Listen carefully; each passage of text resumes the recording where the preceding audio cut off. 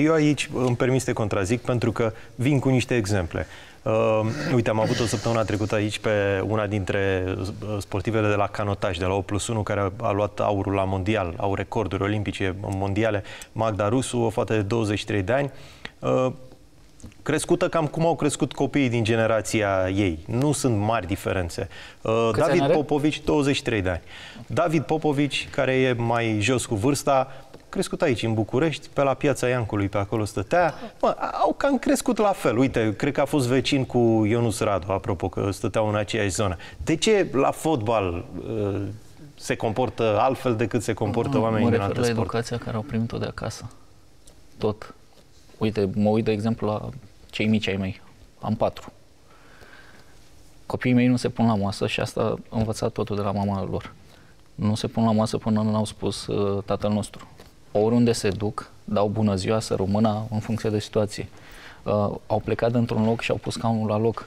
Sunt lucruri care acum nu le mai fac toți copiii. Pentru că cel mai bun exemplu e uh, al părinților. Și copilului nu trebuie să explici, copilului trebuie să-i arăți pe un propriu exemplu.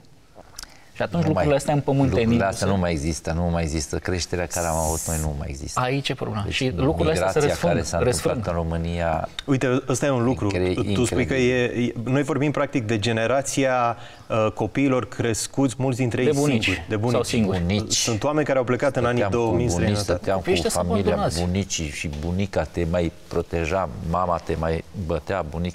Și toate astea, duminică, se punea masă, toți duminică mâncam toți la masă împreună, frumos și ce incredibil, erau niște lucruri care acum nu mai există, nu mai sunt. Acum sunt România, câți oameni au plecat în străinătate și s-au dus milioane și milioane de oameni, numai satele sunt goale, deci de la mine acolo unde stau eu, până la Moldova nouă sunt vreo 5-6 sate. Niciunul nu mai are teren de fotbal. Și înainte, când eram tânăr, nu jucam, că eram prea tânăr și băieții mai în vârstă jucau cu satul cu tare, veneau la noi, noi ei mergeau la ei și am jucat și eu cu puțin când am ajuns la Moldova. Uh-huh. Deci nu mai există.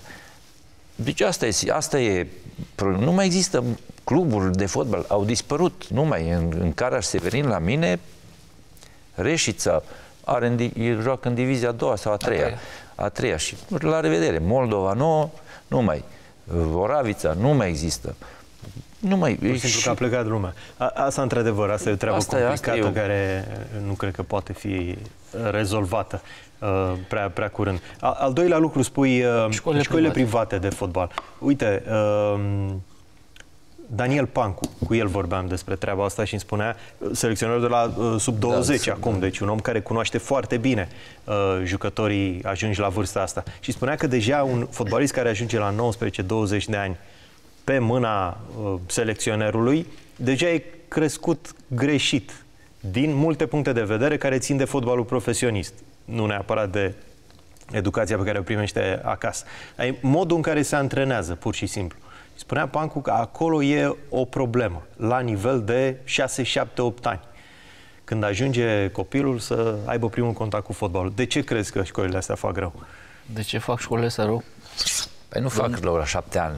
Dând la șapte ani fac bine, că ei fac sport. Asta nu trebuie să îl învețe să joace fotbal la șapte ani, la 8, la 9, 10, 11. Noi am început să joc eu și cu Hagi și, și Balint la, la, la 15-16 ani. m-am înscris la fotbal.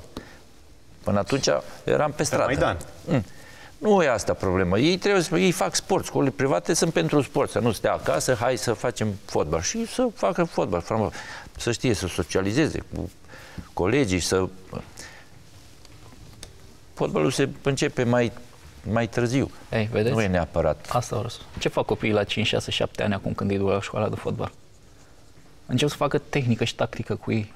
Tactic. Ce tactic să fac? Da, cu temporizare, da, pasă, Dacă îi întreb pe oamenii care se ocupă de școli, le zic, nu, domne, pe la 12 ani așa ne apucăm de... E vrăjeală. Vă spun că am asistat la câteva școli de fotbal la da, antrenamente. Lucru cel mai rău. Unu, valorile se diluează pentru că sunt atâtea școli. Uh-huh. Uh, an- antrenorii sunt poziți de părinți, să zic așa în ghilimele, uh-huh. pentru că părintele plătește și toți sunt un mic becali pe banii lor. Uh-huh. Stau la gardul terenului, uh, hai Tavi sau Edi sau cum îi cheamă pe copii, hai fă așa, nu știu ce, copilul ăla nu poate să fie atent la antrenor. Antrenorul nu poate să aibă îmi scapă nu poate să aibă un cuvânt de spus. Autoritatea autoritate. În fața da. În, da, sau a copilului. A copilului. Pentru copilul știind că părintele e la gard, e cu un ochi la antrenor și cu unul da, la da. părinte și nu înțelege nu nimic de la antrenor. antrenor pentru că, tragă de urechi dacă cumva pentru nu că stă în spate și... speriat, aolo, ce zice mama sau tata. Da. Pentru că părinții sunt cel mai mare rău în spatele asta. Din punctul meu de vedere, l-ai dus la fotbal, du-te, bea un ceai, o cafea, un, un vin, ce vrei ca părinte, dar nu te duci acolo, te duci la sfârșit când a terminat antrenamentul. Pentru că copilul trebuie să fie focusat 100%, antrenorul trebuie să fie doar cu ochii pe elev, nu să fie atent ce spune că părinții în Asta spate. e o discuție valabilă zilele astea în presa engleză și s-a ajuns chiar la păreri radicale de genul, domne, trebuie să interzicem da. toți părinții da, da. la păi, fotbal, să lași copiii liberi. Uite-te în ultimii ani câte bătăi au fost la meciurile de copii mm-hmm. și juniori și culmea nu între tați cât între mame. Și de acolo au pornit. Ele s-au păruit și soții au picat la mijloc în mult. Și trebuia să, să, să susțină consoarta ca apoi acasă nu mai prime un bol de mâncare caldă în față, să zic așa. Bun, se diluează. Tu faci tehnică și tactică cu ei. Aruncă-i, domnule, mingea, lasă-l să, să joace fotbalul ăla de turmă, când tu aveai mingea la picior și trebuia să găsești soluții să nu te rupă ceilalți. Că plecau toți după tine și în atâta malgan de picioare așa îți dezvolți tehnica, îți dezvolți fuga. Și cred că și liderii tot acolo apar când îi lași pe copii da. liberi să, să-și facă ei regulile. Da, se simt, imediat simt cine altă... e mai bun, cine e mai mhm. slab, imediat simt. Nu, nu trebuie să spună neapărat nu, antrenorul nu, nu, asta. Nicio, Iar o altă... se, simt, se simt și așa încet, încet își lasă ei, de la ei, cine e mai din lider, cine e... Și uh-huh. e ceva, asta e muncă în echipă. Te simți, normal, dacă stai mult împreună, știi, simți ce gândește ăla, ce poate ăla. Deci asta acum, asta nu mai există cum exista pe timpul nostru. Cantonamentele, pe noi stăteam în cantonament, de venea, abia așteptam să plec, să nu mai... Când aveam un meci în, aici, în campionatul nostru, vineri dimineața, la 9, la micul dejun și de, la, de, de, de, de vineri până duminică în cantonament.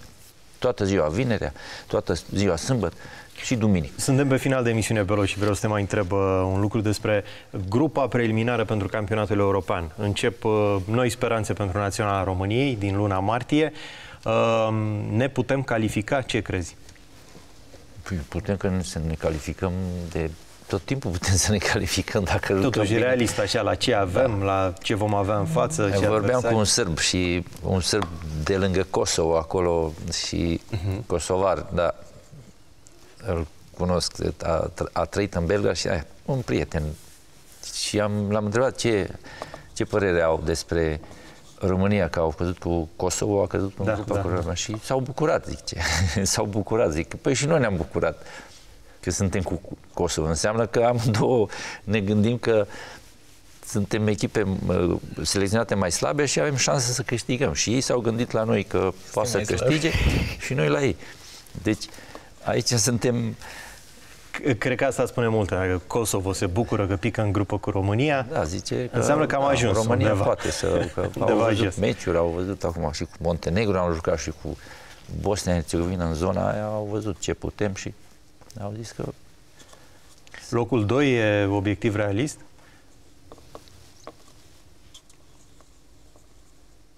Locul 2, da. Cred că locul 2 se gândesc oamenii. Elveția, Sincer, Elveția. De atenție, chiar și locul 1 poate fi un obiectiv realist. Păi este și locul 1, dacă câștigi cu Elveția, dacă câștigi cu Israelul, dar Cam Poți, greu. Până acum ce am demonstrat? Mai nimic. Hai să păi demonstrăm asta, de păi asta ne uităm în spate. Ce am demonstrat până acum? Acum 2 ani, 3 ani am demonstrat, nu prea am demonstrat că suntem Nu avem, avem argumente. E, și acum, dintr-o dată să începem să câștigăm, nu prea e da, normal. Da, ok, să pune la o să... discuție lega și de grupa națională și în general de fotbalul nostru. Domnule, că nivelul de pregătire al jucătorilor, valoarea lor, peste toate acestea, diferența o face mentalul, educația mentală a lor.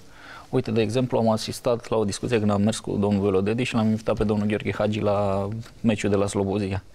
Deci, efectiv, i-am, i-am văzut pe acești doi oameni cum vorbeau despre fotbal, despre tot, ardeau pe interior și acum de, tremurau. Domnule, să facem înflăcărarea aia. Nu, nu o să vezi lucrul ăsta la niciun jucător actual. Poate dacă jucătorii actuali se uită mai mult la generația lor și la modul firesc în care vorbesc și în care simt uh, fotbalul, poate uh, o să reușim lucruri deci, mai bune. Deci care sunt în afara fenomenului, efectiv mi-au dat Simți o altă asta. stare. Da, Simți da, efectiv te, te îndeamnă să faci mult mai mult decât ăștia, poți. Ăștia sunt lideri. Uh, ei exact. sunt lideri și pentru generația asta. Vă mulțumesc foarte mult, domnilor. Mie drag Belodedici, Iulian Mihailă, mult succes în proiectele pe care le aveți. Așadar, da, 8 noiembrie, să mai spunem o dată. 8 noiembrie, stadionul Arcul de Triunf. Arcul începând de, Triunf. de azi de la ora 17, ora 17 se vor, vor pune în vânzare biletele donații, atât cele cu acces fizic cât și virtuale. Încă o dată reiterez faptul că toți donatorii vor intra într-o tombolă caritabilă în care pot câștiga inclusiv una din cele patru mașini pe care noi le-am uh, pus în joc la această tombolă. Mi se pare extraordinar. Uh, biletele de la cât pornesc? 20 de lei. 20 de general, lei. prețul Ce general. mai vrei? Deci îți poți lua bilet chiar dacă nu mergi la meci, să faci o faptă 20 bună, de lei. toți banii vor fi donați. Sunt echivalentul unei cafele. Exact. Renunțăm la o cafea dintr-o lună de zile pentru a da o șansă la viață unor copii. Bun, vă mulțumesc foarte da. mult pentru mulțumesc. prezență, mulțumesc mulțumesc uh, și vouă că ne-ați urmărit. Rămâneți uh, cu as.ro live, ne întoarcem și mâine.